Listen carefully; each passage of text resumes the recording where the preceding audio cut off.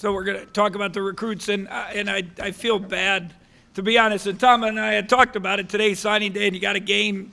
You know, there's no way we could have a press conference this afternoon, but um, we thought we'd get, you know, hopefully get a win. At halftime, I was like, oh my goodness.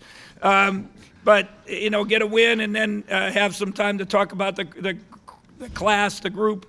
Uh, you know, can't be you know very excited about it. There's no doubt. With you know, when you talk about the four guys that are playing now, um, young guys, or three freshmen and David, and then you add this group, you, you feel very positive about it. I'm, I'm happy and proud of our staff.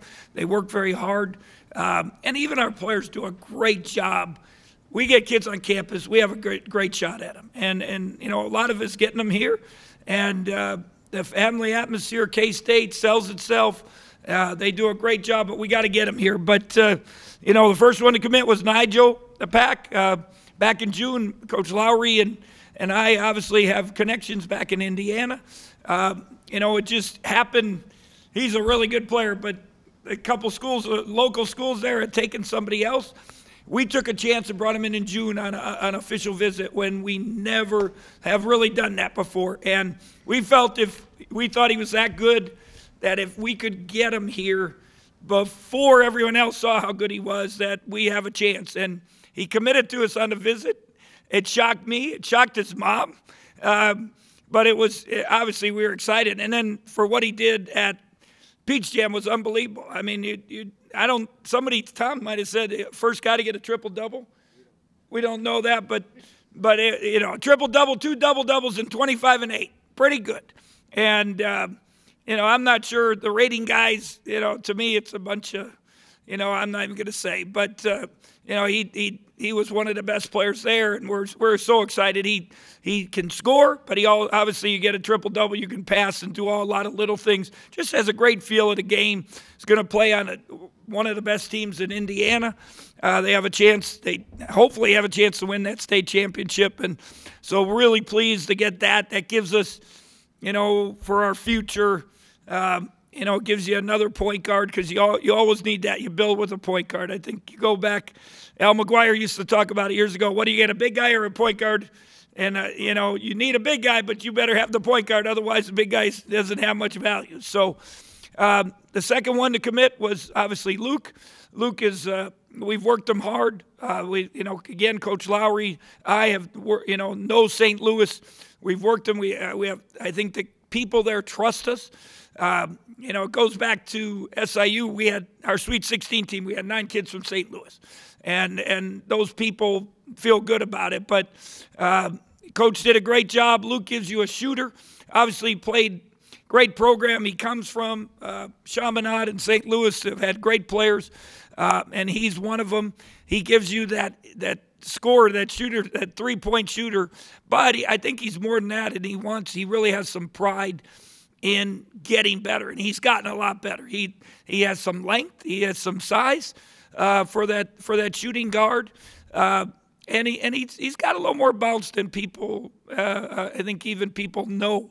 So you got a shooter, you got the point guard, you got the shooter, um, and then we had to get an athlete.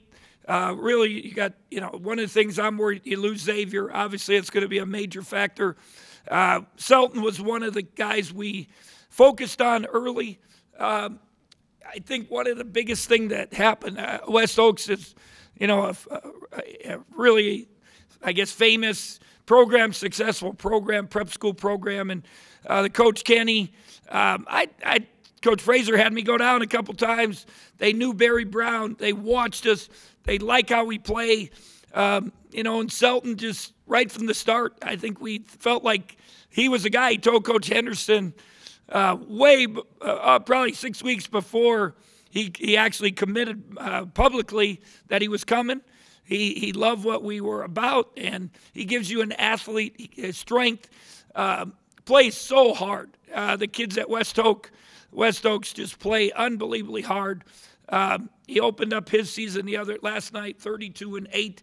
And the thing that surprised me is I knew he was an athlete. I knew he could get to the hoop but he can really shoot the three ball. And he, if you look at his stats, I think 42 last year, and he's continued to shoot it well. Um, and, and just a kid that is so happy to be here. You know, to be uh, he's a freshman. He comes over, him and his brother uh, from Angola. Um, you know, there's it's hard, and and he's really adjusted, and uh, you know they, he's done a great job, and and you, you feel good about him. Outstanding young man. They all three of them, all four of them are really good. Then Davion, you, you know, going back down McGuire, you need it's a true aircraft carrier. Um, he is a big body, big guy. Uh, I thought he made. I've watched him since his freshman year. Coach Lowery obviously has has worked him hard. We've both done it since really probably eighth grade, and uh, you know he's had some ups and downs in his high school career.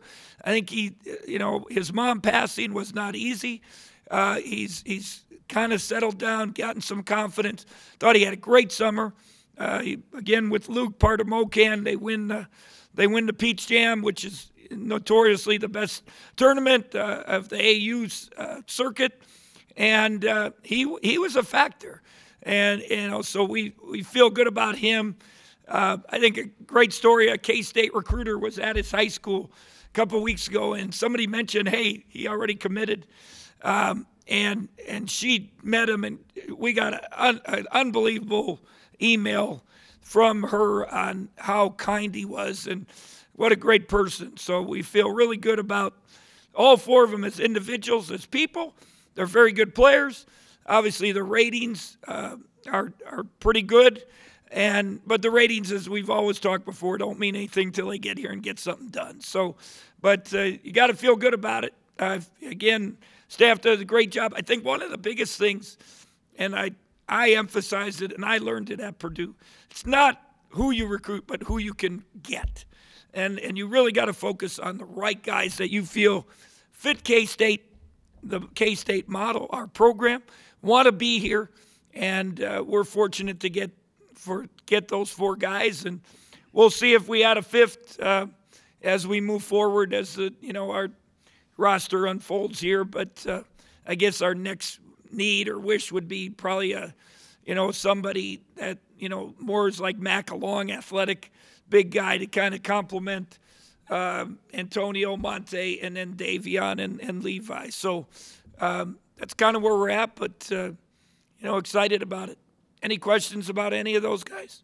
I guess my first question would be, what like, can you expand on that connection with St. Louis, and uh, is that basically a well, pipeline? Like, yeah, I mean it. It I, I guess I, it's a good pipeline. Coach Lowery's done a great job, and he's and he's he's worked it. Um, you know, they he's he's worked the guys since they're young. It's the one place though, and I said before, if we can get kids here, we have a chance. They can make unofficial visits here. It's only five, five and a half hours and we've been able to get some kids over. Luke been was over a couple times. You know, Davion's people were over. So uh, when that happens, it gives you a chance. Uh, there's you know not many other places uh, geographically that we can get them over, but and I think there's a trust. Uh, obviously, we've had success with them. You know, you whether it's you know Xavier, DJ, you know now Levi, Sean. Um, you know, the, I, the people feel good about us, so we, we feel good about it. You kind of already said this, but you more or less signed, you know, a one, two, three, and yeah. a five yeah. off of getting, however you label them, a two and two fours, you know, the last year. Do you feel pretty good about just the, the, the spot distribution of those well, guys? I think that's, the, you know, it's, you got to build a team. And, and that's something I, I think I've learned through the years. You just can't take all shooters, you can't take all athletes, you can't take all big, you got to have a mix. And I think we have a great mix with – you know, these these three, you know, I think Montavious and, and Antonio are way better than anyone ever thought. You know, we felt pretty good about it.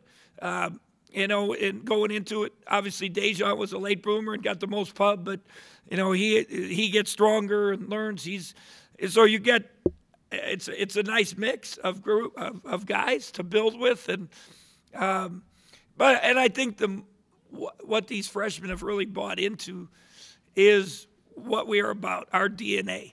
And and they've they've exhibited more than anybody how hard they play and how they compete, and they want to do well. So uh, hopefully, we got enough people back that can get the next group to believe in it and keep it moving forward, and uh, you know, a bright future for K State basketball. One more. um, I guess I'm curious about Selton. Is he, is he one of the more physically gifted guys coming in? Yeah, there's no doubt. I'm sure you look at the highlights, and you know, on the. Uh, but I, the first time I saw him, I loved him. I, I just, he's a dog. You know, I, you, you want, and actually, Coach Frazier had started the recruitment with them before. Um, and he, and he just said, Coach, he fits, you know. And then Coach Henderson took it over. Um, as I said, you know, Kenny, they, they like our program. It helped. Uh, you know, Barry, watching Barry and his progress, they know they knew that. So, you know, obviously that influence helped. Uh, but you know, he'll guard. He wants to guard. He takes pride in it. Uh, he plays so hard, uh, and he and he and he is better offensively than I thought. Probably initially, I, my first thing was, you know, I told the coaches our number one thing we had to get was somebody with some physical presence, you know, at that wing spot to because you obviously you know you have Xavier get spoiled with that, and uh, you know hopefully he can he can give us that. Yeah, down here they have a couple more. I just wanted to ask because I mean we, we hear about it and we as media members write about this a lot and, and I just I wanted to know whether it was a thing but the success uh, of going to the Elite Eight, what you guys, how much did these things at all play into it, or were these guys already bought in regardless of? I, no, I don't think there's any doubt. It, it, the attention, you know, what happened, the Elite Eight run, uh, that's a commercial for us every time. And, you know, they're talking about you. It, it's getting in the top 25 every time. Then what highlights are on? The top 25 teams. It doesn't matter which network they're putting you on. And uh, so, you know, that making that run and then last year, you know, winning the Big 12, there's no doubt it it it added juice to it. And then you bring kids on campus and we got a ring ceremony. And man, this is they're getting a standing ovation, 55,000 people. Uh, you know, so a lot of good things. There's no doubt it helped. Got it? Matt, nothing. Okay. Thank you. Yeah, thank you.